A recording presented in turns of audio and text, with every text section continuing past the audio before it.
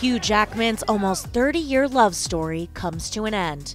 When I asked my wife to marry me, you're nervous. You know it's the right thing.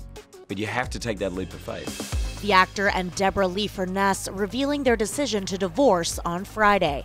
Telling People magazine, We have been blessed to share almost three decades together as husband and wife in a wonderful, loving marriage.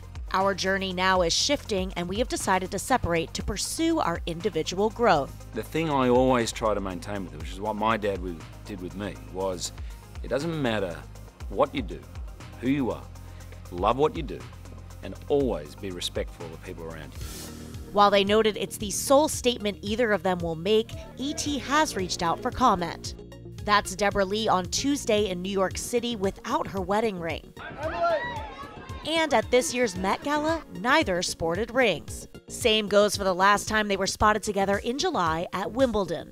Well, if you're anything like me, you wake up asking, how did we get here? Back in their statement, the two say they're undertaking this next chapter with gratitude, love, and kindness, adding that, quote, family has been and always will be our highest priority.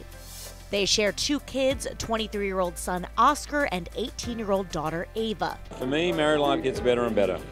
You know, I was a very, very happy single man when I met my wife, and the moment I met her, it was like, this is 10 times better than this, just continue to be like that.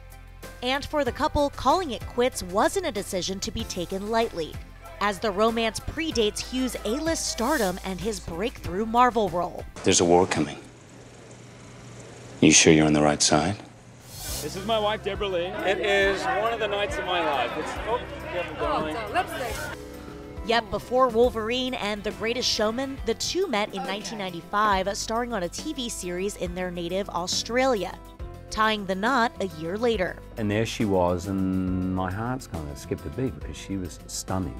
But I was a little intimidated because she was a big star. She was just cool, and from that moment, we were like best buds. Fast forward to 2023, Hugh shared this sweet tribute for their 27th anniversary. Together, we have created a beautiful family and life. I love you with all my heart.